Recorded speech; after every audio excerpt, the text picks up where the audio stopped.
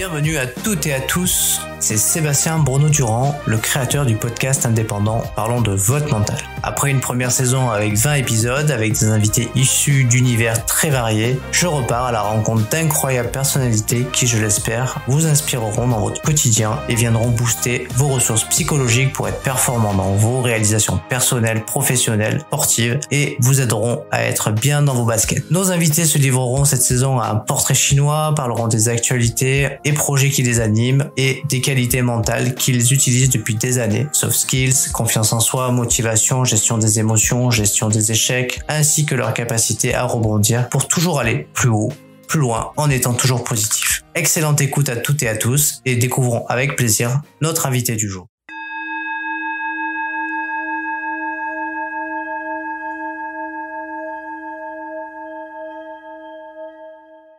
Bienvenue à toutes et à tous dans un nouvel épisode de Parlons de votre mental.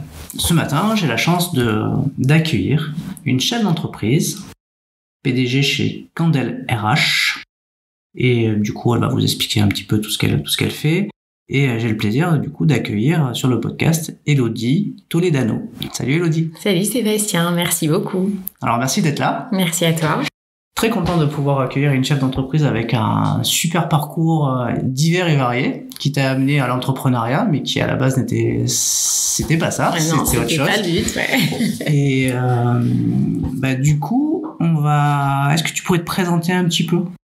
Alors sans rentrer dans trop, trop dans les détails, parce qu'après on reviendra sur ton parcours, D'accord. mais juste te présenter. D'accord. Bah écoute, euh, en quelques mots, ben je suis euh, je suis consultante auditeur des organismes de formation. Euh, Et je suis aussi formatrice en bilan de compétences et euh, VAE. Donc c'est un un chemin que que je mets en place pour travailler dans la formation et et apporter et apporter tout ce que j'ai pu apprendre tout au long de, de mon parcours professionnel. Bon, super. On a déjà un petit, euh, un petit bout. Et euh, on va commencer tout de suite par euh, le traditionnel portrait chinois qu'on fait dans, dans le podcast. Et ensuite, on reviendra bien évidemment sur bah, la, thématique qui nous concerne, c'est-à-dire parler de ton mental, de ton parcours et plein de- plein d'éléments de la préparation mentale. Alors, le portrait chinois, t'es ok, t'es prête? Eh ben c'est parti. D'accord, allez, on part. Si tu étais une couleur, Oui. quelle couleur serais-tu et pourquoi? Alors, je serai la couleur bleue. Euh, pourquoi? Ben Parce que le bleu, euh, d'abord, ça me fait penser au ciel et à la mer. Et en fait, euh, ben, comme c'est infini, alors, eh ben, j'adore cette couleur. Ça me fait penser à l'horizon et à l'infini. Parfait. Prochaine question. Ouais, Imagine, tu pars vivre sur une île déserte ouais. et tu ne peux amener qu'un seul livre avec toi. Wow. Quel livre tu prendrais? Wow. Prendrai le livre qui s'appelle La pensée positive de Sarah Youssef. C'est un livre, euh, c'est un livre que j'adore, qui m'a accompagnée dans plusieurs périodes euh, de ma vie. Et, euh, et à chaque fois que je le relis, eh ben, euh, ben, je vais bien. Quel est le moment de la journée Ouais. que tu préfères? C'est une bonne question. Le moment de la journée que je préfère, euh, le matin. Le matin, euh, avant d'amener les enfants à l'école. Un petit moment où je me, je me recentre, où je prends un petit peu de temps pour m'organiser, pour... euh, pour voilà, je suis avec moi-même. J'ai un petit temps comme ça. Alors c'est pas un entretien d'embauche, Ouais. mais si tu devais être une qualité, quelle qualité serais-tu et pourquoi? Wow.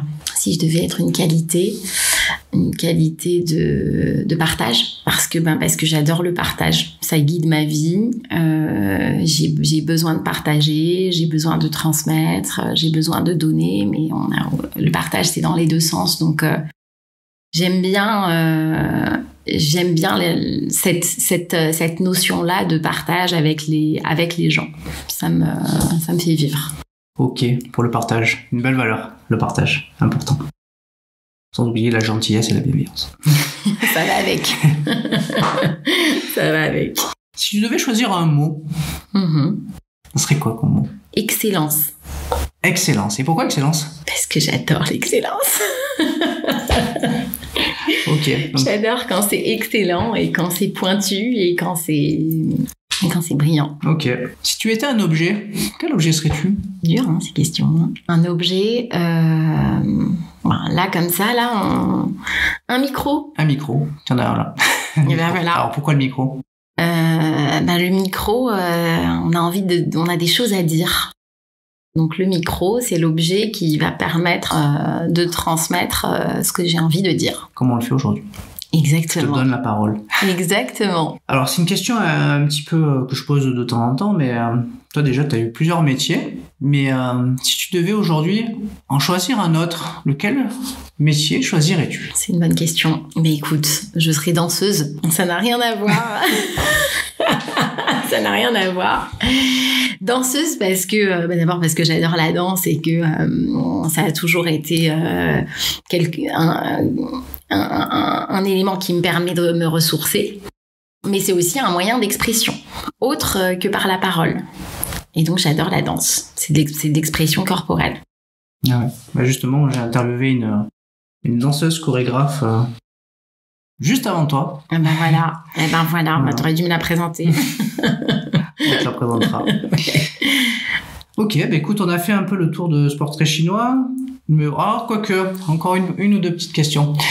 Est-ce que tu es gourmande? Alors, si tu devais être un plat cuisiné, quel plat serais-tu? Un plat cuisiné? Alors, euh, on peut pas être une pâtisserie? Si, ça va venir après ça.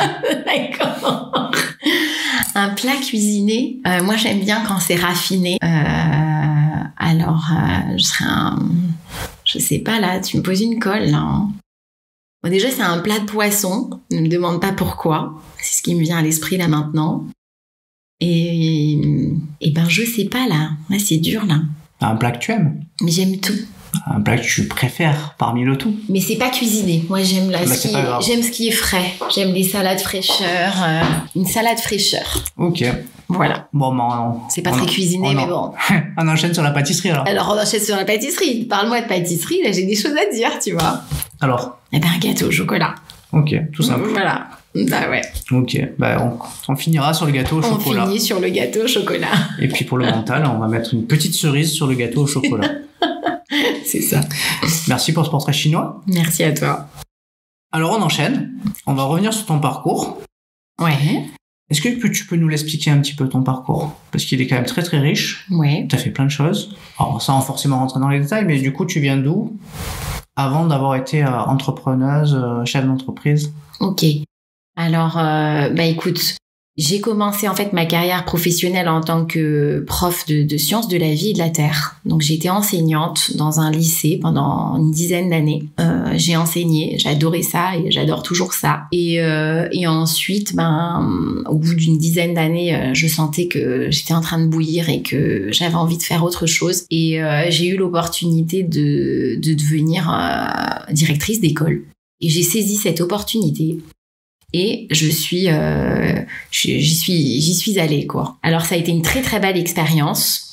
Euh, ça a été une très belle expérience. C'était la première fois que je mettais mon nez dans le management, dans la communication, dans le pilotage de projets. Bon, je, le faisais en tant qu'enseignante, mais c'est différent. J'ai adoré ça et, euh, et du coup j'ai fait une très jolie formation qui a duré qui a duré deux ans deux ans et demi avec des chefs d'établissement scolaire où justement on a appris euh, on a appris le management.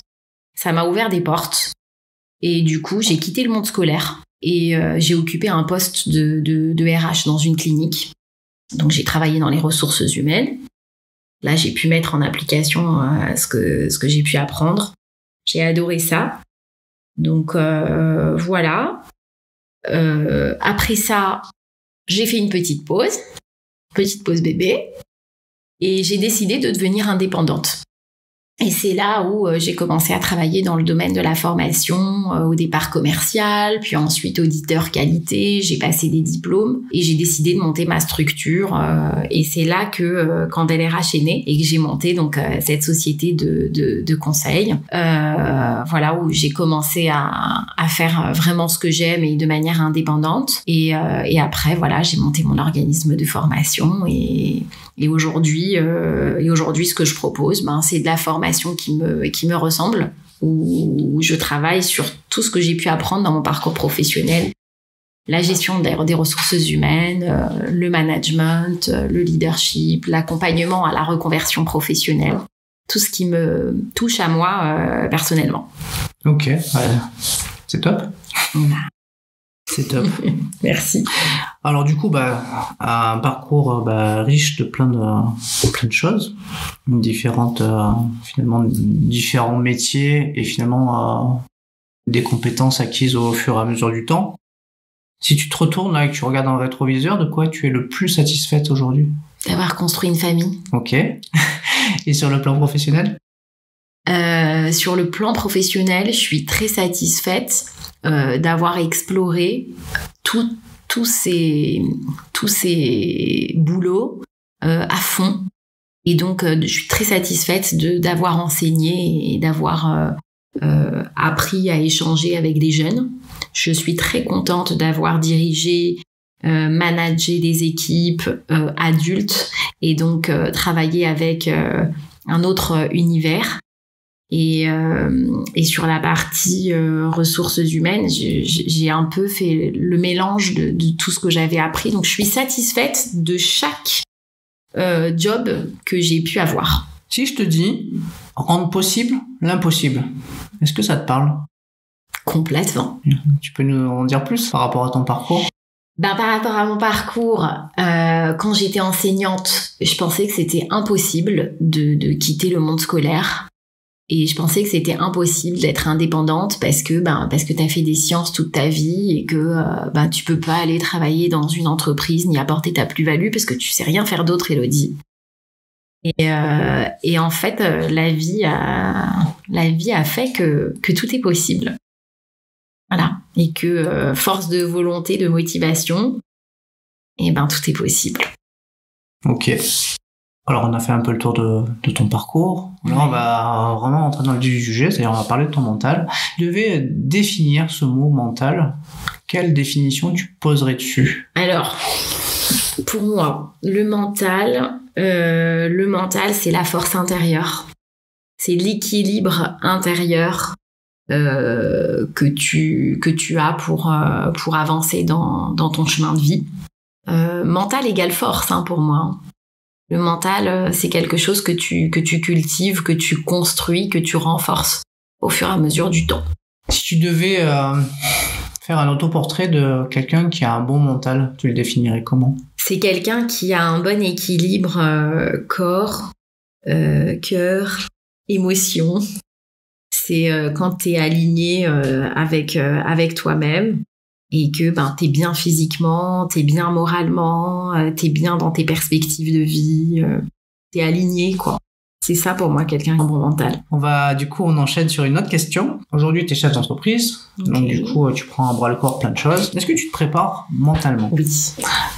Ok. Et qu'est-ce que tu fais alors pour te préparer mentalement? Quels sont tes secrets? Bon, alors moi j'ai j'ai plein de j'ai plein de secrets. Mais euh, concrètement, ouais, comment je fais pour me préparer mentalement? Bon, déjà, euh, j'essaie d'avoir une activité physique euh, régulière. C'est pas toujours facile, mais en tous les cas, c'est quelque chose que je que j'ai mis en place parce que euh, c'est important. La deuxième chose, c'est que j'ai besoin de me recentrer. Très souvent, euh, j'ai besoin de me recentrer, d'être euh, seule avec moi-même, de, de prier. voilà, ça, c'est quelque chose qui me permet, ben, on parlait de force intérieure tout à l'heure, ben, de consolider ma force intérieure. Et puis, et puis la troisième chose, c'est que je j'échange, j'échange avec des professionnels ou, des experts sur certains sujets, sur certaines thématiques pour justement ben, travailler ce travailler ce mental. Donc en fait, je suis pas seule dans ma bulle à, à travailler ce mental, je m'entoure. Je m'entoure de gens euh, bienveillants ou inspirants. Pour les gens inspirants et bienveillants. c'est ce que c'est ce que je fais souvent dans le, dans le podcast. Hein. Finalement, je vais euh, je vais aller chercher des, des gens euh, souvent inspirants et bienveillants qui vont pouvoir un peu inspirer plein d'autres gens. Et donc tu en fais partie puisque finalement tous les gens qui aimeraient faire de la reconversion professionnelle, mais finalement on peut le faire. Hein. Il suffit juste de s'y mettre. Hein. Ben, c'est ça. Il suffit juste de s'y mettre. Si je te dis l'enthousiasme, est-ce que pour toi c'est une qualité primordiale pour le mental? Bah ouais, complètement. L'enthousiasme, ça, ça anime une personne, hein. ça anime et ça se, ça se diffuse, ça transmet, c'est, c'est communicatif. Donc euh, ouais, complètement. Moi, je dis que l'enthousiasme, euh, ouais, c'est, c'est une valeur importante. Alors, l'enthousiasme, est-ce que selon toi, il est important de se connecter avec soi-même pour le mental, Ah. pour avoir un bon mental Mais complètement, mais complètement. On en a un peu parlé, mais, euh, mais oui, se connecter avec soi-même, c'est ce qui, selon moi, hein, c'est ce qui permet de d'abord de se, de se recentrer, de bien se comprendre, de bien, de bien se connaître et de savoir aussi ce qu'on a envie de, de, de donner, de, de transmettre ou de partager. Et donc, si on se connaît pas bien, ben, on va pas, euh, on va pas être complètement soi-même. Donc, euh, oui, c'est important, c'est fondamental même. Si je te parle de confiance, qu'est-ce que ça t'évoque? Ouais, dur. la confiance. Il y a la confiance en soi. Ça aussi, c'est une donnée qui est, fondamentale pour avancer, euh, pour avancer dans la vie. Et pareil, ça aussi, ça se construit. En fait, on ne naît pas euh, avec une confiance en soi euh, comme ça, impeccable, imperméable dès le départ. Enfin, ça dépend, ça dépend les personnes. Mais euh, la confiance, c'est- nécessaire aussi pour, euh, pour avancer dans son, dans son chemin de vie. Je pense qu'il faut pas confondre la confiance et l'estime. Ouais, ouais, je vois ce que tu veux dire. Parce que souvent, euh, au départ, je pense que notre éducation nous permet de, de construire l'estime de soi-même, Ouais. de nos enfants, et ensuite la confiance, elle s'acquiert avec l'expérience, c'est-à-dire avec les briques qu'on met. euh, et du coup, bah, c'est comme ça qu'on arrive à, à prendre confiance, c'est-à-dire que c'est dans l'action et c'est en faisant qu'on prend conscience qu'on arrive à faire les choses. Ouais. Et, euh, À mettre en application et du coup, ça te donne plus de, plus de confiance en c'est ça. en- Bah, justement, toi, ta, ta confiance, tu l'as construite comment? Est-ce que tu as confiance déjà? Ah ben oui, sinon Non. je... Alors comment tu l'as construite cette confiance? Ben, je l'ai construite à travers, à travers tout mon parcours, en fait. C'est mon parcours de vie euh, personnel et professionnel qui m'a, qui m'a permis de la construire, cette confiance en moi.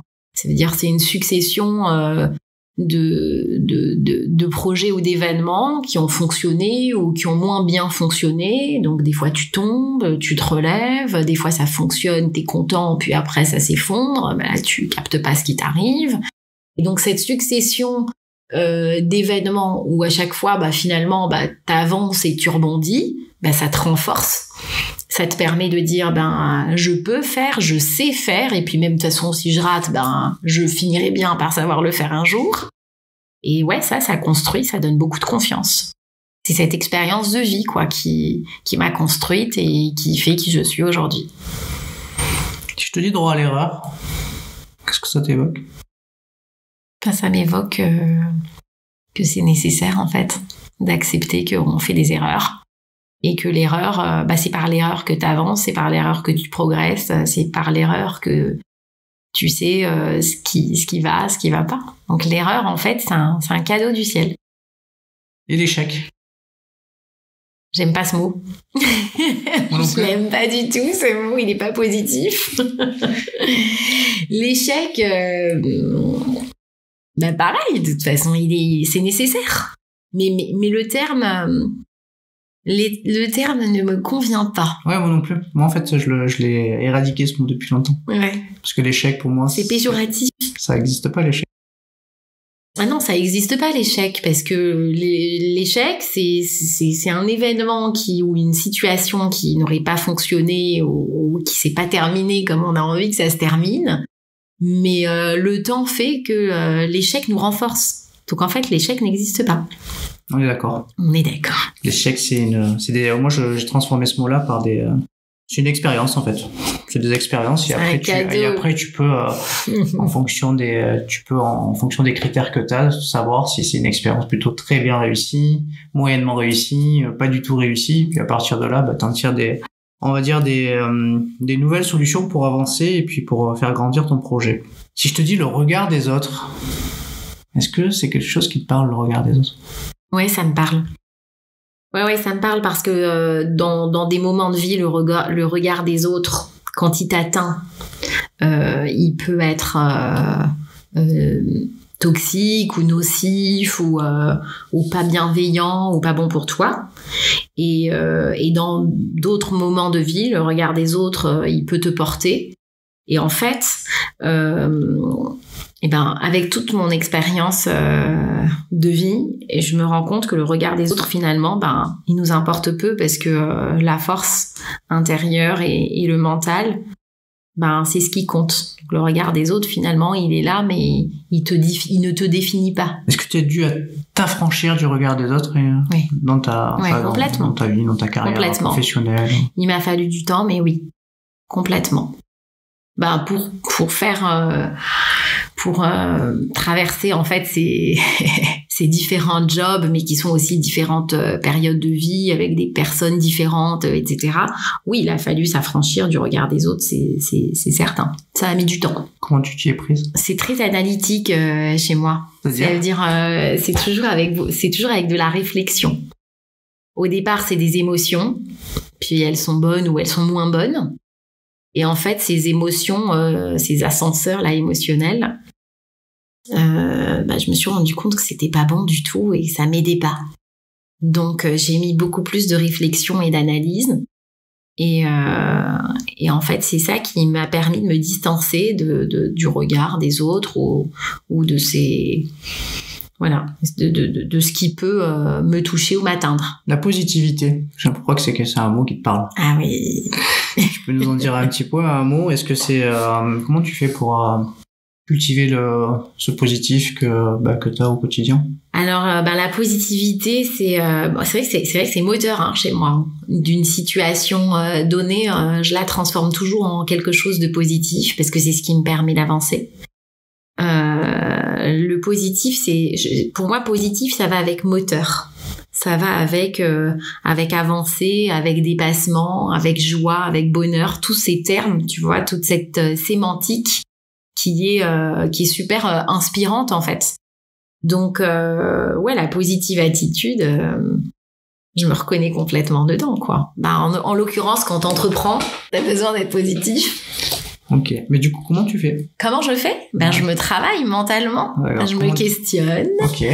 Je me questionne euh, quand euh, il y a des notions qui sont euh, complexes ou difficiles ou, ou négatives, ben je, je, transforme en fait ma pensée en une pensée positive. Je me dis mais attends, au lieu de me dire ça, ben je vais me le dire autrement. Je vais je vais changer ma phrase dans ma tête, hein, tout ça. Hein. Donc imagine comment dans ma tête ça barde. Et en fait, je transforme mes, mes pensées. Je travaille mon, mon mental. Donc du coup, si tu as une pensée négative, par exemple. Ouais tu vas la changer en une phrase positive. Exactement. Et c'est un exercice. C'est pour ça que je te dis que je suis analytique parce que euh, voilà, je te donne une situation euh, lambda. T'as ta voiture euh, qui t'a lâché, et puis t'as as trois rendez-vous dans la journée, et puis il va falloir rassurer parce que bah parce que t'as pas le choix en fait. Et tu dis, euh, tu commences par dire, ah, la journée pourrie, mal commencé, ma voiture elle s'est cassée, comment je vais faire, et t'es pas bien. Et, euh, après, t'as as trois minutes pour réfléchir à une solution et surtout euh, à être positive parce que tu peux pas aller au rendez-vous avec avec ces idées négatives, quoi. Tu, sinon, tu tu vas les laisser transparaître. Donc, je me fais le mental. Bon, ok, la voiture s'est cassée. Bon, bah écoute, ça va me permettre de changer les roues euh, depuis le temps. Euh, bah voilà, c'est l'occasion. Et puis, ben, je vais prendre à Uber. Bah du coup, ben, je vais pouvoir dormir dans, sur le chemin. Ça va me faire beaucoup de bien. Je vais peut-être pouvoir appeler mes parents, euh, prendre le temps pour eux. et du coup, je vais pouvoir répondre à mes mails. voilà, je me, je me fais tout un scénario positif pour que la journée soit meilleure. C'est un exemple. Finalement, il suffit de ne pas avoir de voiture. Finalement, c'était pas mal, hein, la voiture Alors, on va attaquer le, la thématique de la motivation. Ouais. Bon, t'es péchu, t'as l'air hyper motivé. Ouais.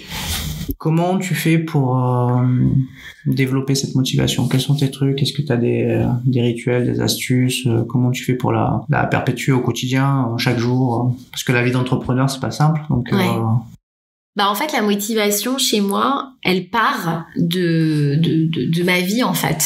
De, la vie que je mène. Donc j'ai une grande motivation, c'est mes enfants. C'est euh, comment j'ai envie qu'ils qui me voient. Tu vois, eux, leur regard, il est important pour moi. Euh, quel modèle j'ai envie de leur donner? Qui j'ai envie d'être, en fait, euh, pour eux? Eux, c'est vraiment... Ils sont ma motivation. Donc ça part de là déjà.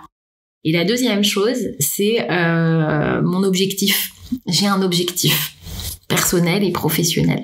Et donc en fait, comme j'ai envie d'atteindre cet objectif, donc je suis super motivée. Même dans les moments où tu sens que c'est complexe, bah, je garde quand même la motivation parce que j'ai envie d'atteindre mon objectif. Justement, pour atteindre cet objectif, comment tu fais? Est-ce que tu te fixes des défis? Comment tu as des objectifs à atteindre? Du coup, comment tu euh, bah, comment tu planifies pour aller euh, vers euh, bah, la réussite que tu cherches à avoir? Bah, j'ai mon j'ai mon plan d'action.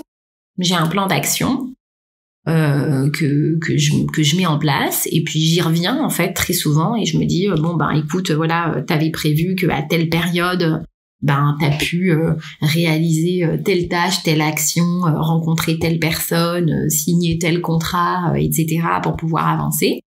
Et je me fais des points et je me dis ah ouais là ça va pas du tout là va falloir mettre les bouches et double je me fais des points en fait mais j'ai des micro dans cet objectif final j'ai des micro objectifs qui vont me permettre de l'atteindre ok tu vas step by step quoi step by step ouais. comme comme c'est les fameuses photos qu'on voit souvent avec les, soit les petites marches, soit les, l'échelle. C'est le logo de ma, c'est le logo de Candel RH. Ok. C'est un petit escalier euh, avec des marches et des marches pour atteindre euh, un objectif. Un objectif. Super. Est-ce que selon toi, il faut avoir un plan pour réussir? Oui et non. Alors euh, oui parce que ça te permet en fait de, de, de, tracer ton de tracer ta route et de te dire bon euh, je suis pas complètement euh, foufou je me lance pas à l'aventure euh, euh, voilà c'est construit et non parce qu'il faut quand même avoir une petite part de folie et il faut quand même y aller et foncer et, et se laisser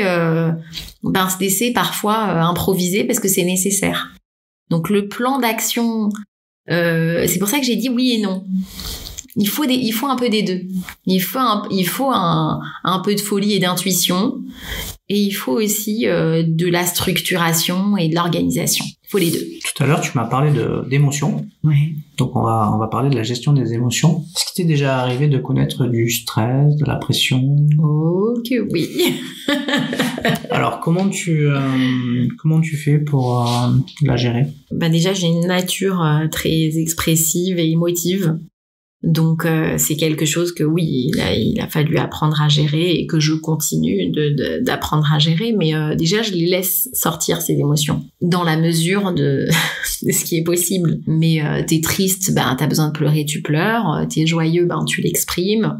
T'es en colère, tu l'exprimes, mais d'une manière régulée. Tu vois, ta colère, tu vas l'exprimer dans un sport ou, ou dans de l'écriture parce que ça aide, mais tu l'exprimes, tu la gardes pas. Voilà. Et en fait, euh, ouais, c'est un peu comme ça que que, j'appréhende la gestion des émotions. Après, il y a des émotions qui sont plus fortes que d'autres. Où là, euh, où là, des fois, ben, avec beaucoup d'humilité, ben, t'as besoin d'aide, quoi. Voilà. Donc quand il y a besoin d'aide, ben, tu demandes de l'aide. Est-ce que tu as des techniques que tu utilises pour te relaxer quand tu as, je sais pas, un coup de stress, un coup de pression? Est-ce que ah ben je t'ai dit tout à l'heure. Hein, Parce que du coup tu peux pas aller euh, mettre tes gants de boxe. Non, je peux pas mettre les gants de boxe, mais tu peux anticiper. Ok. Tu vois, ouais, tu peux anticiper le truc. C'est-à-dire, tu sais que tu vas avoir une semaine euh, hyper chargée ou à la fin tu vas être sur les rotules, euh, tu sais que tu vas être fatigué, etc. Donc tu anticipes le moment de, de, de, de lâcher prise. Par exemple, euh, voilà, grande semaine en perspective. Bon ben, je sais que d'ici jeudi, va falloir faire une heure euh, de danse ou, euh, ou une heure d'écriture ou une heure de, quelque chose qui va me détendre pour aborder la suite avec plus de sérénité et de paisibilité, quoi. Comment tu fais donc tu as un, agenda très chargé, je le sais, pour optimiser ta, ta concentration sur les, toutes les tâches que tu te donnes à faire Je m'organise. En fait, c'est vraiment l'organisation ou la structuration qui m'aide. C'est-à-dire que euh, quand tu sais que tu vas avoir des rendez-vous euh, où c'est un échange, ça demande une certaine concentration. Mais quand tu sais que tu vas avoir un, rendez-vous avec un client qui nécessite que tu mettes toute ta concentration, toute ton énergie, que tu peux pas répondre au téléphone, que voilà, on a besoin de toi à 1000% pendant un temps défini, eh bien, euh, j'organise ce moment. C'est-à-dire, euh, je l'anticipe et dans ma tête et dans mon, et dans mon planning pour pouvoir euh, être efficiente au maximum. C'est un peu comme ça que j'avance. On va parler de détermination. Donc je sais que tu es déterminé à réussir. à faire des grandes choses, à aller vers l'excellence. L'excellence. Souvent on dit que pour avoir une force mentale, il ne faut rien lâcher. Qu'est-ce que tu en penses, toi? J'en pense que euh, oui. Euh, en fait, on va, on, peut la tourner autrement la, la phrase. La détermination, ouais, j'ai envie de réaliser quelque chose, je suis déterminée, je lâche pas. Je vais aller au bout de de, de, ce projet ou de cet objectif ou de cette intention. Maintenant, s'il y a des moments où il faut lâcher, des, lâcher prises ponctuelles, où tu dis bon ok là ça marche pas, je vais lâcher parce que euh, euh j'y suis pas. Donc euh, t'es moins dans dans dans ce dans ce combat de je vais y arriver ou dans ce challenge. Mais après ça revient parce que comme t'es déterminé, ça revient. Donc tu as des moments de lâcher prise où il faut lâcher l'objectif pour pouvoir se recentrer ou faire autre chose et ensuite y revenir avec plus de force et de détermination. Ok, c'est de l'intermittent. On va dire ça comme ça, ouais. C'est de l'alternance. Alors on arrive sur, euh, bah, écoute, euh, on arrive sur la fin de l'épisode. Oui. On arrive à plein de questions. Euh, je te remercie. Merci à toi. Il va falloir conclure. Et tu sais que dans le podcast, la conclusion, je la laisse toujours à mon invité. Euh, Est-ce que tu as un, un message que tu aimerais faire passer en lien avec ce que tu aimes ou en lien avec, euh, je sais pas, quelque chose qui te tient à cœur? Bah écoute, euh, il y a une phrase en fait qui revient toujours dans mon dans mon esprit. C'est un leitmotiv. Je pense que c'est aussi extrêmement moteur. C'est euh, bah écoute, pense bien et tout ira bien. Voilà, c'est une phrase qui m'aide au quotidien. Donc euh, si je devais donner un, un ou si je devais partager avec euh, d'autres euh, personnes comme moi, des indépendants, des chefs d'entreprise euh, qui traversent euh, pas simple ou bien des moments de, de gloire, c'est pense bien, tout ira bien. Et ça permet d'avancer. Donc c'est une phrase de positive attitude. Voilà. On, finira, on va finir là-dessus. Ouais. Merci beaucoup. Merci à toi. Ou si on veut te joindre, si on veut euh, prendre attache avec toi, ne serait-ce que pour échanger par rapport à ce que tu fais, comment on Ben euh, déjà, on peut me contacter par sur LinkedIn. Je suis accessible, Elodie Toledano, ou bien euh, sur mon site internet www.candelrh.com. Euh, de, dessus, il y a mes coordonnées, il y a mon mail, il y a voilà, il y a les coordonnées téléphoniques, et puis je suis accessible, disponible. Super, super. Voilà. Bah, écoutez, Merci à toi. À bientôt. À bientôt. Si t'es arrivé jusque-là, c'est que cet épisode t'a certainement plu. Alors, merci d'abord pour ton écoute et ta fidélité. Et pour te remercier, je t'offre un cadeau. 30 minutes de coaching avec moi pour t'aider sur le sujet que tu souhaites. Pour obtenir ton cadeau, bah, laisse un avis et un commentaire sur Apple Podcast via iTunes et fais une copie d'écran, tu me l'envoies, je te la partage dans la foulée sur mes réseaux sociaux et je te contacte également pour que tu me parles de ton mental. Bye bye à toutes et à tous, on se retrouve très prochainement pour un prochain épisode.